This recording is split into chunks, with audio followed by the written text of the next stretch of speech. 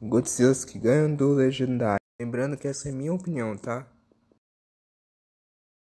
Godzilla de Mythical Monsters. Ele é praticamente. Ele é praticamente show, só que com 91 metros de altura. Godzilla de the Bond. Esse Godzilla é mais agressivo, inteligente e violento que as outras versões. Se fosse do mesmo tamanho que o Legendário, o Legendário não teria a menor chance. Pois ao contrário de Legendário, ele não se cansa. Fora que ele matou o Grifão de forma brutal. Godzilla Showa. Experiência em combate. Pode desafiar as leis da física.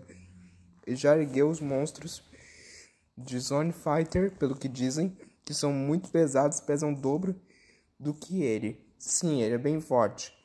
E se fosse do mesmo tamanho que o Legendário, poderia vencê-lo. Shin Godzilla. Pode evoluir, tem habilidades muito úteis, capaz de disparar um feixe cortante que pode sair das costas, da cauda e da boca. Legendário teria que ser rápido.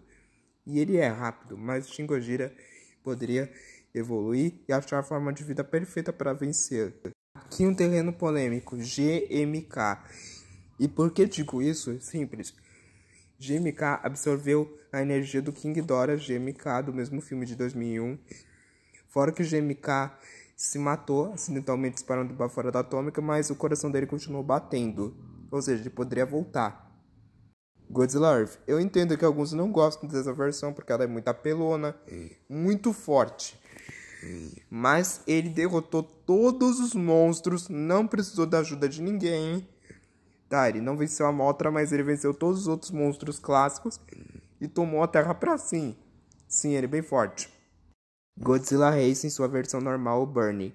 Esse Godzilla é capaz de destruir o mundo virando uma bomba relógio. Os próprios personagens dizem que se ele não fosse detido e congelado, Godzilla Earth poderia afundar e fritar o planeta. Ele ia fazer um buraco na Terra. Gente falando que o Legendary ganharia dessas versões porque fez um buraco no chão. O Godzilla Earth ia explodir, causar um cataclismo gigante. Seria equivalente ao Sol fritando a Terra em um só dia. Esse Godzilla é um dos mais fortes. Versões favoritas de muitos. Por fim, o Godzilla da HQ Godzilla in Hell. Eu preciso dizer alguma coisa? Ele venceu o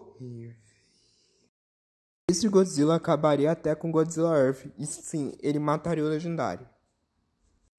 Próximo, Godzilla Final Wars. Preciso falar alguma coisa? Ele venceu 14 monstros sem precisar de ajuda. E derrotou Kaiser Ghidorah e parou um asteroide. Ele conseguiu frear um asteroide. Sim, ele poderia mandar o legendário para o espaço.